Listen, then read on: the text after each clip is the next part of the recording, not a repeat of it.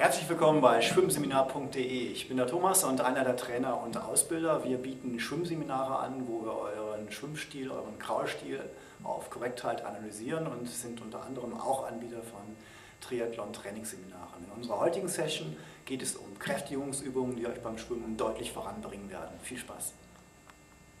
Unser Experte für Athletiktraining ist Sportwissenschaftler Ralf Färber. Er war unter anderem lange Jahre Mitglied der deutschen Schwimmnationalmannschaft und hat bei den Weltmeisterschaften im Schwimmen gestartet. Ich möchte heute eine Auswahl der wichtigsten Kräftigungsübungen zeigen aus einem großen Repertoire. Viel Spaß dabei. Ein Hinweis vorneweg, bei allen Übungen ist es sehr wichtig, dass der komplette Körper unter Spannung versetzt wird. Die Übung Crunches.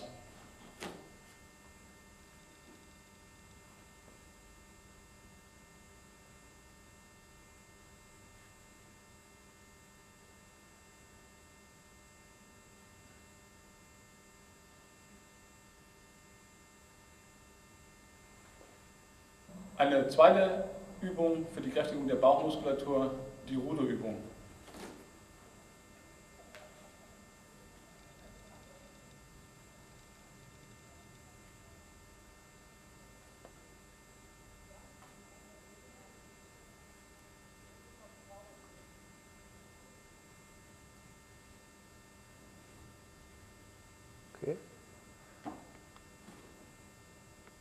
Übung dient zur Kräftigung der geraden Bauchmuskulatur und der schrägen Bauchmuskulatur.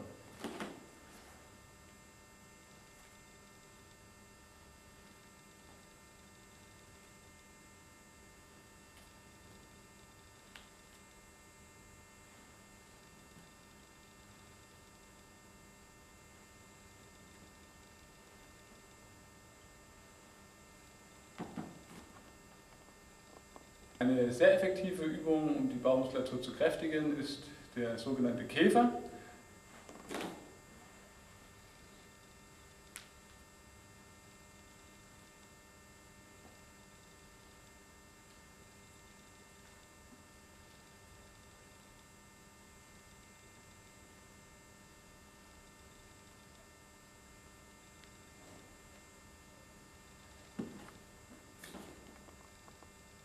Übungen dienen der Kräftigung der Rückenmuskulatur. Die erste Übung daraus wechselseitiges Heben und Senken.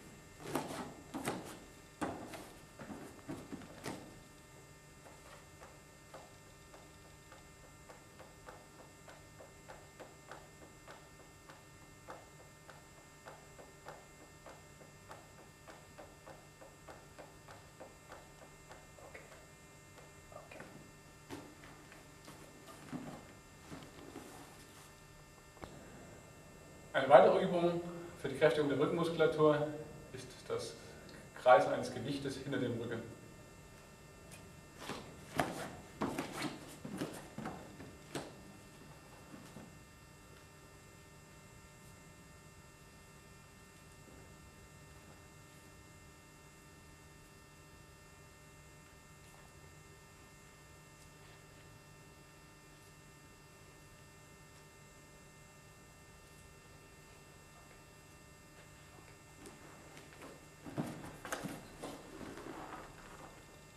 Das Terraband, ähm, sehr vielseitig einsetzbar, auch für die Kräftigung der Rückenmuskulatur lässt es sich wunderbar verwenden.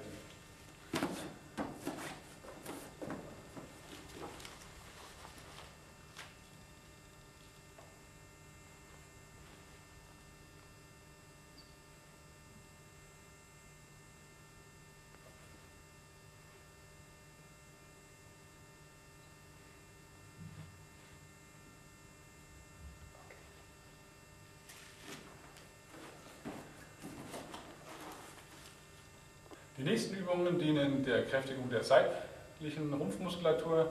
Die erste Übung daraus der Seitstütz.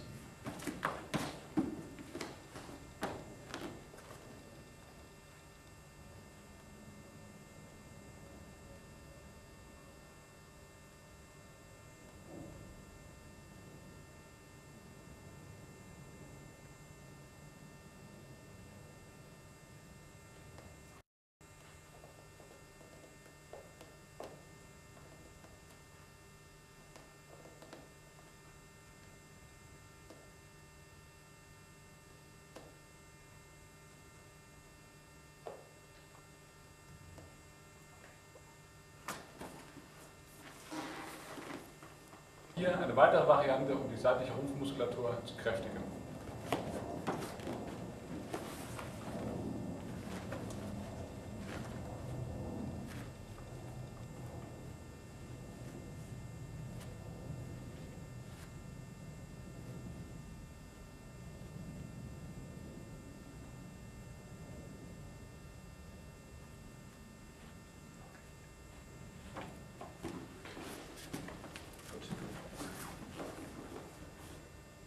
Ralf, herzlichen Dank für deinen Einsatz. Keine Schweißperle auf der Stirn, bewundernswert, wenn ich das auch so könnte. Wir haben jetzt eine Vielzahl von Übungen kennengelernt. Stärkung der Bauchmuskulatur, Rückenmuskulatur, Rumpfmuskulatur. Wer braucht das letztendlich? Sind das nur die Profischwimmer, die Profi-Triathleten oder ist der Einsatz auch bei Amateuren im unteren Volksdistanzniveau notwendig?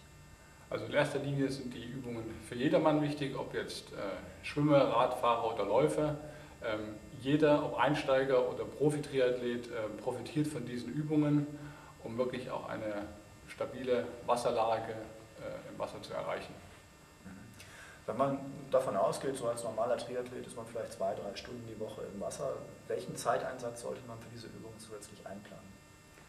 Der zusätzliche Aufwand für diese Übung ist eigentlich relativ minimal. Man kann äh, diese Übungen nach dem Radfahren oder nach dem Laufen oder beispielsweise auch vor dem Schwimmen am Beckenrand auf dem Schwimmbrett äh, umsetzen. Da, dienen, da, reichen 20 bis 30 Minuten. Ähm, die Übungen sollten am Anfang vielleicht nicht länger als 30 Sekunden, später kann man das auf 45 bis 45 Sekunden bis eine Minute steigern und jede Übung so circa dreimal und das Ganze zwei bis dreimal die Woche, da erreicht man schon einiges. Das ist aber schon nicht ohne, ne? bei zwei bis drei Stunden Schwimmtraining dann nochmal unterm Strich eineinhalb Stunden Kräftigungsübung dazu. Wäre es nicht effektiver, die Zeit mehr im Wasser zu verbringen oder wie siehst du das? Nein, also ganz im Gegenteil. Also man kann ja auch mit diesen Übungen gerade für das Wassertraining, für das Schwimmtraining eine optimale Voraussetzung schaffen. Ähm, diese Übungen dienen uns ja wirklich schlussendlich, äh, uns im Wasser besser äh, voran zu, äh, fortzubewegen, eine stabilere Wasserlage zu haben, die Rumpfmuskulatur stabil zu halten, dass wir eben nicht wie eine Schlange uns durchs Wasser bewegen und wirklich effektiv nach vorne uns vorantreiben können. Jetzt hast du vorhin auch eine schöne Übung mit so einem Gewicht gehabt. Ähm, was man nicht gesehen hat, das Ding wiegt ein Kilo. Ist das schon äh, fortgeschrittenes Niveau? Kann man, muss man gleich mit der Milchtüte starten oder gehen noch kleinere Gewichte? Ja. Also am Anfang kann man auch diese Übungen, die wir vorhin gesehen haben, auch ohne ein Gewicht machen, dass man wirklich nur die Arme vor dem Körper, vor dem Kopf und hinter dem Gesicht zusammenführt und man steigert sich da am besten rein. Geht dann nach individuellem Niveau, nach Leistungsniveau ob das jetzt, das kann jetzt ein Kilo sein, das kann auch ein Handtuch sein oder ein kleiner Tischtennisball.